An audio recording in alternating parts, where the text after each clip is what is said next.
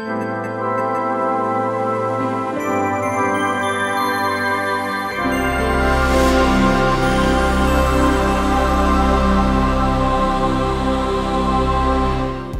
to the Vine Daily. I'm Trap Pastor Q, and we're talking about the assignment.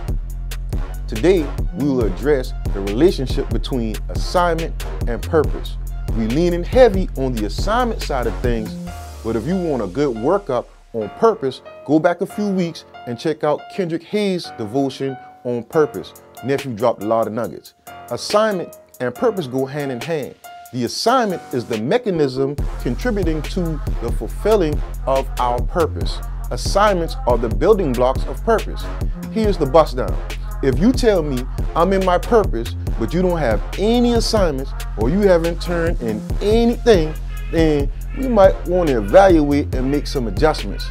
Like I mentioned on yesterday, if you're constantly telling God, no, not me, I can't do that, then how are you accomplishing anything? Then we look up and be like, God, can you get me out of this? And God, like, I already did. I gave you something to do.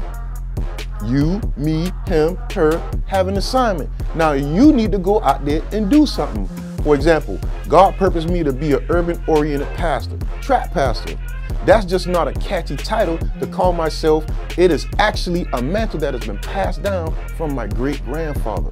My assignment within that purpose is community advocacy, mentoring the youth, hosting viable, popping, faith-based events, all fostering a culture where urbanites can find Christ. Listen, if you're not handling your assignment, it's a strong possibility that you are off purpose.